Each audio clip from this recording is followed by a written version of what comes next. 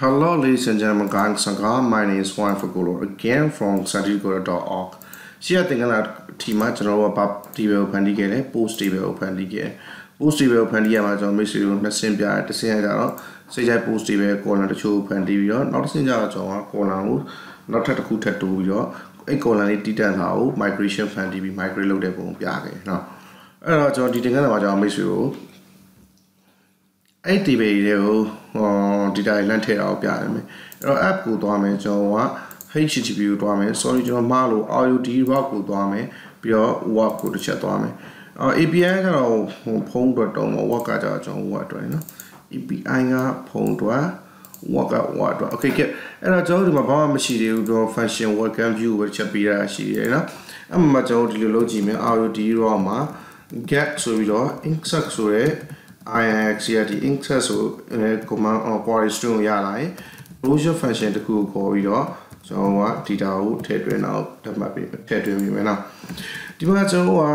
Laravel နဲ့ပတ်သက်လာတဲ့ mail တွေကအာ database နဲ့ထည့်တဲ့နည်းကြီးပါတယ်ဆိုအခုကျွန်တော်က raw query တုံးဖို့ raw raw s to query တုံးဖို့ကျွန်တော်တင်ပြရမှာ raw raw x ဆိုရမှာပဲနော်အာ တကယ်ဒီကလွယ်လွယ်လေးပဲနော်ဒါပေမဲ့ Laravel အနေနဲ့ကြည့်မယ်ဆိုဒီကောင်းအောင်လည်းပူခတ်တယ် Laravel မှာကျွန်တော် MOD ရဲ့ model ရှိတယ် model မှာကျွန်တော်က eloquent model ဆိုတာရှိတယ်အဲ့ဒါကို QENT eloquent QENT လာမလို့ QENT eloquent MOD ရဲ့ model ရှိတယ်အဲ့မှာကျွန်တော်က database ဆို1 to 1 money to money တို့ relation ရှိတယ်သူက OPG လို့ခေါ်ဟော object relation model ORM လို့ခေါ်တယ်နော်အဲ့ဒါကျွန်တော်ကလေ့လာသွားမှာအများကြီးပဲတချို့သင်ခန်းစာတွေကျွန်တော်ကဒီဒီစာအုပ်မှာမထည့်ပေးလိုက်ဘူး နောက်ကျွန်တော် Laravel နဲ့ပတ်သက်ပြီး event ဆိုပြီးတော့ system file တွေအကြောင်းလေ့လာခြင်းအစစ်မြင့်တွေအကြောင်းလေ့လာခြင်းမှာထည့်ပေးမှာတော်တော်များများတော့ပါသွားမယ်ဒီ model အကြောင်းတို့ raw raw query တို့အလုပ်ကအကြောင်း make set တချို့ပါသွားမယ်အမေဒီအလုပ်ကနဲ့ပတ်သက်ပြီးတော့ဒီ relation money to money တို့ one to money တို့ um အဲ့ဒါတွေချိတ်ဆက်နေတော့အကုန်လုံးတော့ပါသွားမှာမဟုတ်ဘူးဒီတင်ကနာစီ ရီမှာနော်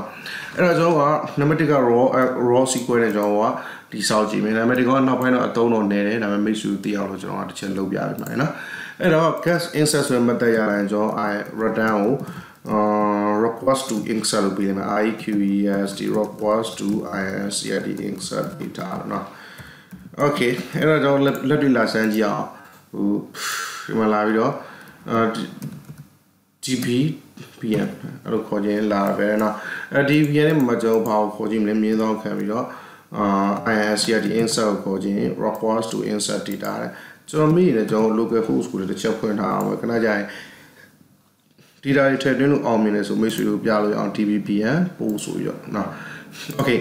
အဲ့တော့ insert line request to insert data တဲ့အဲ့တော့အခုကျွန်တော် request to insert data မှာ data insert လုပ်မယ် data insert လုပ်တဲ့ခါကျ သုံးတော့မှာမိတ်ဆွေကိုကျွန်တော်ပြောခဲ့တိုင်း raw SQL ကိုသုံးရမှာ raw SQL ဆိုတော့ကျွန်တော်ဖောက်ခုံနေမယ်ဆိုတော့အမှ DB class ရှိလွယ်လွယ်လေးပဲ DB class ကိုလမ်းခေါ်ပါ fax fax ရတယ်နော်အာသူရဲ့သူ့မှာမှာကျွန်တော်က insert ဆိုတဲ့ method ရှိပြီးတော့ကျွန်တော်လမ်းခေါ်သုံးနေမယ်ဟုတ်ပြီနော်အဲ insert ဆိုတဲ့ method မှာ parameter နှစ်ခုပါတယ်မိတ်ဆွေကိုကျွန်တော်ပြရမယ်ဆိုရင် insert method မှာ parameter နှစ်ခု language ကိုကျွန်တော် PHP ချက်လို့ ပြီးရင်မှဖွင့်ထားလိုက်ပြီးရင်မှလာပြီးတော့ပိတ်ထားလိုက်ကဲအဲ့တော့ဒီ insert method မှာ db static မှာပါ IIC ရဲ့ဒီ insert method မှာ parameter နှစ်ခုပါတယ်ပထမ parameter ကကျွန်တော်တို့ရဲ့ query ဒုတိယ parameter က bin ding binding လို့ကျွန်တော်ပြောလို့ရတယ်နော်အဲ query ကကြဥမာကျွန်တော် data insert လုပ်ချင်တယ်မလားအဲ့ဒါဆိုရင် query ကဘာဖြစ်မလဲ basically PHP basic ကိုလေ့လာပြီးလို့ကျွန်တော်ထင်တယ်အဲ့တော့ဒီ insert into ဆိုပြီးတော့ကျွန်တော်ဘယ်လေးကိုထည့်မအောင် post တွေပဲတဲ့ကို ဘာတွေထည့်ဘယ်ဘယ် column တွေအတွက်ထည့်မှာလဲဆိုတော့ကျွန်တော်က title နဲ့ဘာအတွက်လဲဆိုတော့ကျွန်တော် content အတွက်လေနော်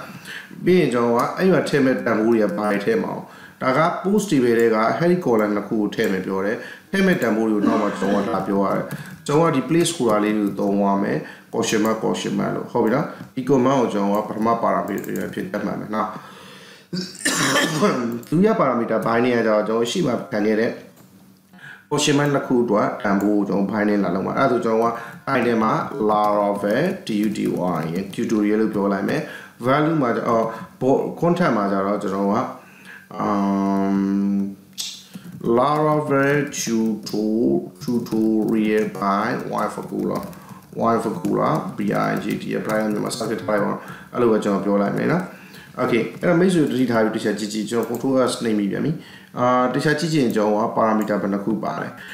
ပါရာမီတာနှစ်ခုပါတယ် insert method မှာဟုတ်ပြီနော်ပထမပါရာမီတာကကျွန်တော်တို့ query insert into post table တွေကိုထည့်သွင်းမယ်ပါ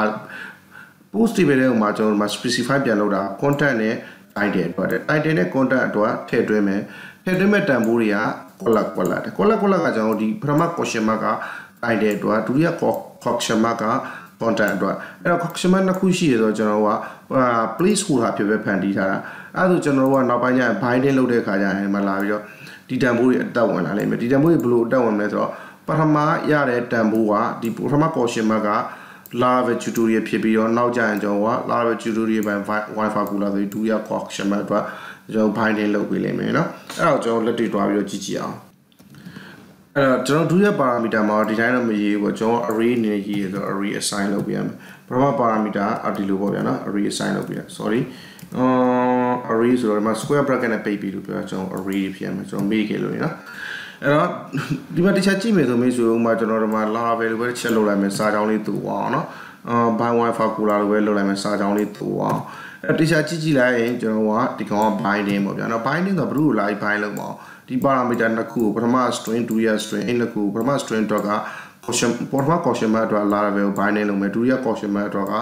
buy one formula အစားထွင်နေမယ်အစားထွင်တော့ binding လုပ်အောင်ပေါ့ process လုပ်တဲ့လုပ်လုပ်တဲ့အချိန်မှာနေနော်အဲ့တော့ inside into post post တွေတဲ့ဒီပဲတွေကမှာ title နဲ့ content အတွက် data ထည့်သွင်းမယ်ထည့်သွင်းမဲ့တန်ဖိုးတွေက caution map နဲ့ caution map တဲ့အဲ့တော့ပထမ caution map နေရာမှာ binding လုပ်တဲ့ခါကျရင် laravel ရောက်လာမယ်ဒုတိယ caution map နေရာမှာ buy one formula ရောက်လာမယ်ဒီလိုပေါ့ဗျာနော် အဲ့တော့ဒုတိယ caution mark နေရာမှာကျွန်တော်ကဒီ by one formula ရောက်လာမယ်ပထမ caution mark နေရာမှာ caution mark နေရာမှာ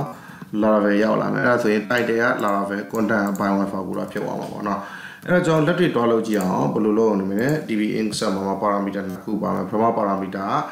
အာ insert into post table ပေါ့ကျွန်တော်စလုံးကိုနည်းနည်းပြန်ကြည့်လိုက်မယ်ကြည့်လိုက်တိတ်လိုက်ဖြစ်နေတယ် insert into post table အမှန်မှာကျွန်တော်တို့က f1d form ကိုတစ်ချက်ရှာမယ် ပြီးရင်အဲ့ဒါကောင်းမယ်ပြီးရင် font မှာကျွန်တော်တို့က Dracula ဖြစ်နေတယ်အော် Wi-Fi font မှာကျွန်တော်ဒီမှာ20လို့လုပ်လိုက်မယ်20လို့နော်ပြီးရင် apply okay လို့တစ်ချက်တင်လိုက်မယ်ဒါကမိတ်ဆွေကိုမြင်တာပါလေနော်အဲ့တော့ဒီမှာလည်းနည်းနည်းကျွန်တော်ဒီဘက်ကိုကျင်းထားလိုက်မယ်ဟမ်ပြီအဲ့တော့ insert into post ဆိုပြီးတော့ post တွေပဲတဲ့ကိုဘယ် column တွေအတွက်လဲဆိုတော့ title နဲ့ content အတွက်လို့နော်အဲ့တော့ table value တွေကဘာတွေလဲဆိုရင်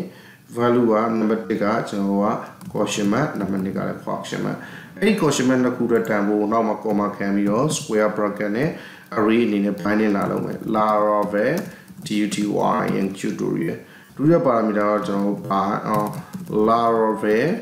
tutorial by tutorial tutorial by by y formula လို့ကျွန်တော်ပြောလိုက်ဟုတ်ပြီနော် အဲ့တော့ကျွန်တော်မှာထည့်စရာတန်ဖိုးကြီးရှိသွားပြီအာပထမမှာပထမ parameter question mark ဒီပထမ question mark ဒီက query string ဒုတိယ question ဒုတိယ question ဒုတိယ parameter ကကြတော့ array တန်ဖိုးဖြစ်ပြီးတော့ရှေ့မှာရှိရကျွန်တော်တို့ဒီဒီ question mark တွေကို binding လုပ်မှာအောင်မြင်တယ်ဆိုရင်ကျွန်တော်ကဒါကို database ထဲမှာတန်ဖိုးပေါ်လာမယ်အဲ့တော့ကျွန်တော်လက်တွေ့စမ်းကြည့်မယ် insert ကို enter ခေါ်လိုက်ဘာတန်ဖိုးမပြအောင်ဒါအောင်မြင်လို့လीနော်လက်တွေ့လာဒီမှာ browse လုပ်ကြည့်လိုက်ရင်